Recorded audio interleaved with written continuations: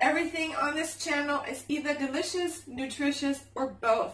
Today I'm making a wonderful soup for you. It's actually not vegan, but I've veganized it.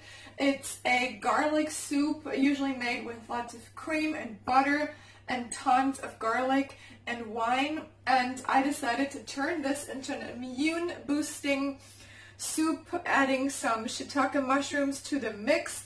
We're all um, in corona times and we have to watch out for our immune system and this soup is heartwarming and mind-blowing. So let's get to the ingredients.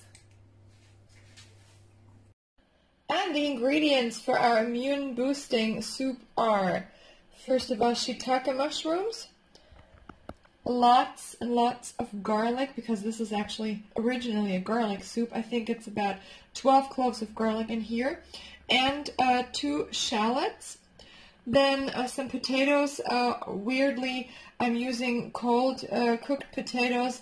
I had them left over and I figured why not use the resistant starch. They've rested over 12 hours, so I will profit from that. And then some broth, vegetable broth.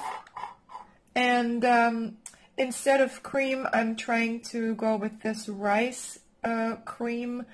Um, it does taste awfully like sunflower seeds, so I'm trying to see as we go along if it's going to spoil the flavor, but just by adding a little bit at a time.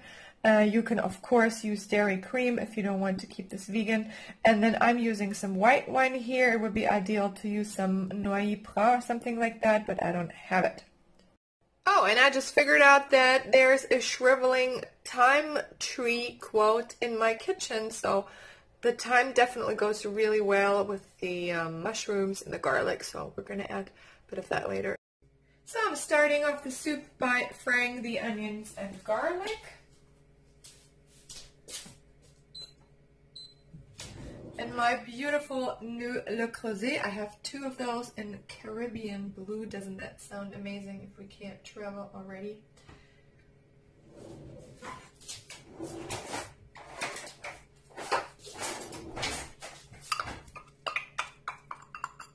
Now this pot doesn't like to be shocked with high heat. It wants to slowly warm up.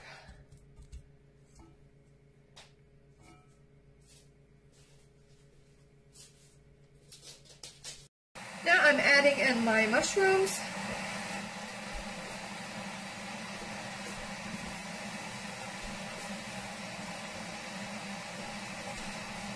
This uh, pot is really not ideal for frying things, but it's good for um, simmering things. So can't have this on too high, otherwise it's going to stick.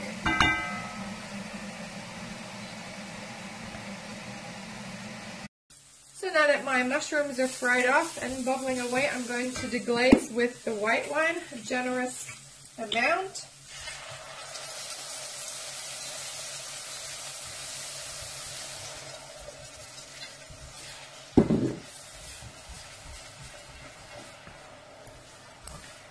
See the brown bits are coming off the bottom of the pot now. That's what we want. Cook it out a little bit and then we will add the steaming hot vegetable broth which I've prepared in the meantime. Oh, these flavors are wonderful. Excuse my fan here. Adding the potatoes now. Everything's going to be pureed in the end anyway. So don't worry about the optics now.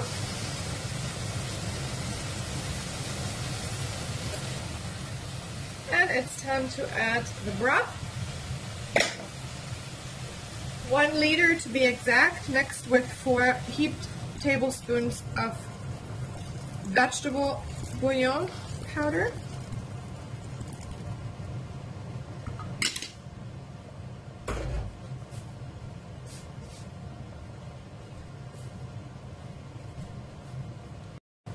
I'm adding some of the thyme already. Just have to be careful not to get the stems in. Now, this is what the soup looks like. Now, don't worry. I've cooked it for about an hour. I never drink alcohol. I just really use it or abuse it for my cooking purposes to give food flavor. Now this already smells unbelievable. Um, I'm going to puree it now, but before I'm going to take out some of the shiitake just to have them float on top later. It might look prettier, okay?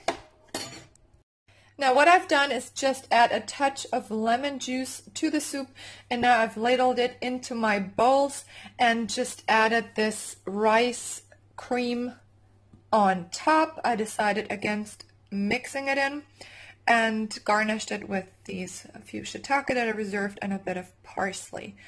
And this is really not just immune boosting but heartwarming and mind-blowing and this was today's episode with the immune boosting garlic shiitake soup. Let me try now.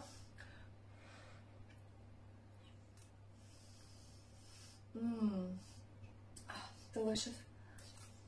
Mmm. Really, you don't need to add any artificial plant-based cream at all. Let the garlic do the magic and see you next time on Vegelicious. If you like this video, give me a thumbs up or subscribe to my channel and recommend me